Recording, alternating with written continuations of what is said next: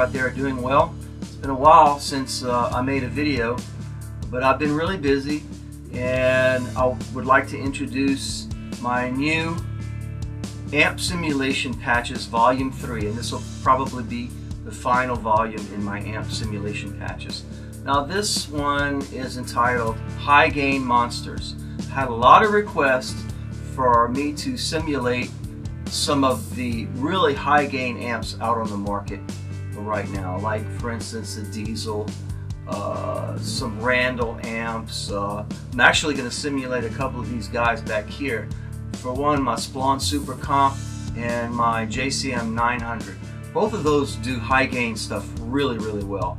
But uh, I've zeroed in on 10 amps that I'm going to simulate the sound of these amps. Now all of these amplifiers these patches use my sound imprint impulse responses that I create myself. But this particular batch is going to be a little different. It's kind of a combination amp simulation patches and artist patches. Now, some of the songs I'm going to play to demonstrate how these patches sound in a mix are some some pieces of music you're going to recognize right off the bat. So what I've done is I've actually created sound imprints of those artists playing that song and I'm going to apply it to these patches. So you're, you're going to get the sound of, for example, a Blackstar Series 1 100. You'll get the sound of that amp, the simulation of that amp, but you're also going to get the artist impulse response that you can engage and disengage at any time. And that's what this first demo is all about.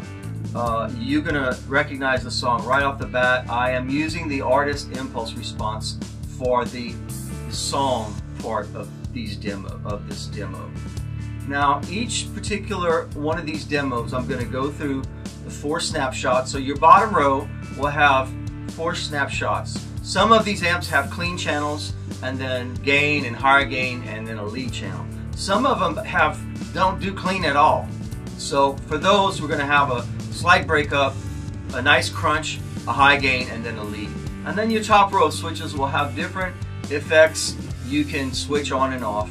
And there's plenty of room on these patches to add other stuff. But uh, I know you high gain uh, guys out there, you don't like to use many effects. So there's hardly any reverb on these.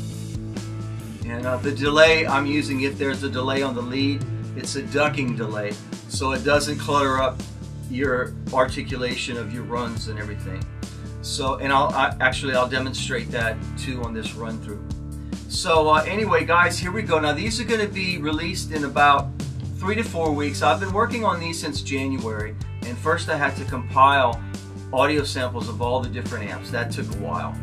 Uh, then I had to put together all the music, and then I had to create my impulse responses. So now I'm at the point where I'm doing the videos and actually demoing the patches. So hopefully they will be released uh, in a few weeks. And again, guys, thank you so much for your continued support out there.